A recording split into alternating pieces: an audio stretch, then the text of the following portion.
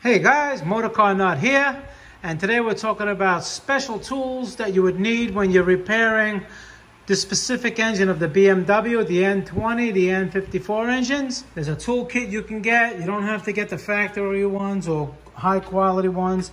You can get a set like this that has everything to set up the timing. The uh, to, I'm going to show you a, a, tool now. This is to lock the um, flywheel, um, oil pump, gears, cams, phases, um, tensioner for the timing chain, and this other one.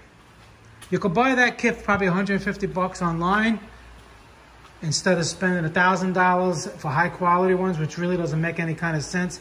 They're okay. You don't have to get a snap-on one. Here is, this takes out the fuel injector. It's like a little slap hammer. What it does these injectors, some you know, they're expensive and you can't just pry them out. You can break them. And these have to be programmed if you break them. And when you take them out, they have to go in their respective cylinder. This is the third cylinder, has to be number three. Don't switch them around. Cars are gonna give you all kinds of codes. What you do is you screw this on the top,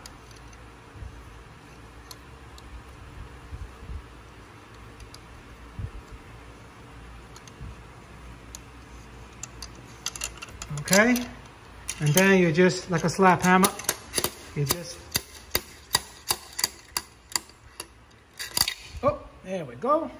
And it comes right out. See how long they are? And like I said, put them back where you took them out from. Okay? And that's it. That's among one of the, the tools that you need to combat uh, doing the timing or any kind of work on these uh, BMW engines. So I figured I'll let you see what that one was for the fuel injector. All right, guys, Motorcar Nut, please subscribe, hit the like button. Any questions pertaining to the video, leave them below. I try to help everybody out and answer all your questions. Thank you for watching.